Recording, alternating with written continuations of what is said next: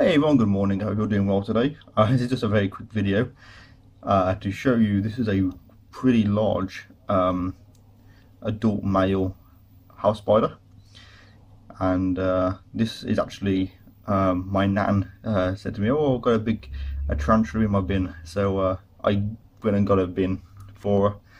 And here it is. Um, it's our tarantula just a house spider.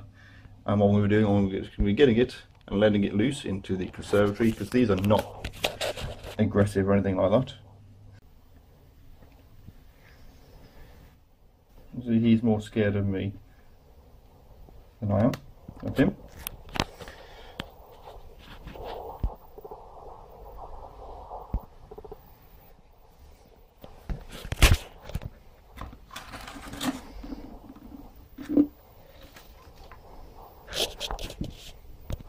So here he is, he's a, a pretty big guy.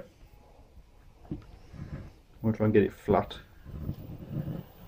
so that he can uh, walk off it without sliding. Oops. Think it was. It'll be safe in there. I'd much rather have a, um, house spider in my uh, house than a fly or a wasp, so pretty beneficial to keep. I don't know where he's gone. Down there somewhere. So yeah, that's uh, if you do find house spiders, just leave them alone or put them somewhere safe. Uh, they won't harm you, they won't bite you and that, so and they will keep pests away. So yeah, thanks for watching this very quick video, and as always, thanks for watching. Take care and I'll see you soon.